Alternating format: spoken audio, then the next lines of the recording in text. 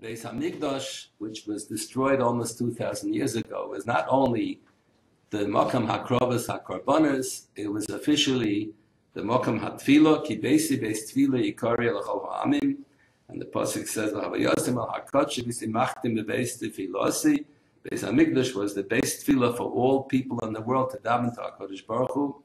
Beis Hamikdash was also the center of all of learning, the center of Torah Shebaal Peh. That was where the Sanhedrin was located, in the center of the Torah Shabbat The official text of the Chumash was placed by Moshe Rabbeinu in the Kodesh HaKadoshim. Uh, you read about this in the end of Chumash Dvarim, and that was to preserve the official text of the Chumash.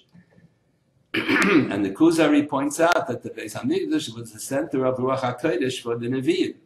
At the, the time of uh, the Geula from the Golus Bavel, most of the Jews remained behind. They didn't return back to Eretz. And HaKadosh Baruch Hu already told Shlomo Melech Baruch HaKodesh that if after the Golus Bavel there'll be a Shvach Aliyah, Rebbe Shalom is not going to send any more. So we're missing, the Beis HaMikdash was missing so many things that Baisheni was missing. And after the destruction of the Baisheni, so you don't even have the, what was there of this man Baisheni.